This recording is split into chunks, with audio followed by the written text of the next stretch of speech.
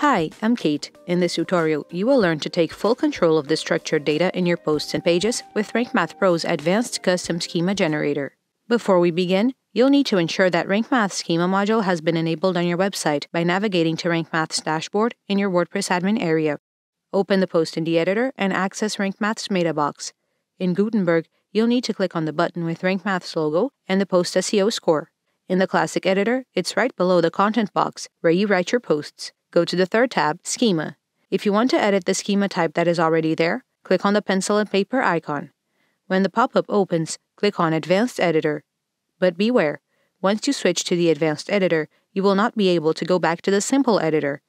Several property groups will already be there, but you can add more if you want to. However, you could also add another schema type because RankMath Pro supports more than one schema type per post. Click on Schema Generator to add a new type. A pop-up will open with three tabs. Click on the third, Custom Schema. The Schema Builder will open with a blank slate, so you will need to add the properties and property groups.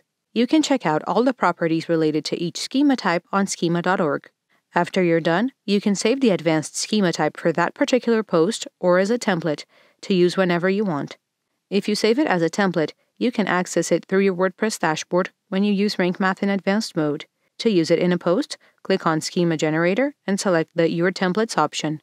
If this tutorial helped you, give it a like. If you have any questions, click on the link in the description to open a free support ticket.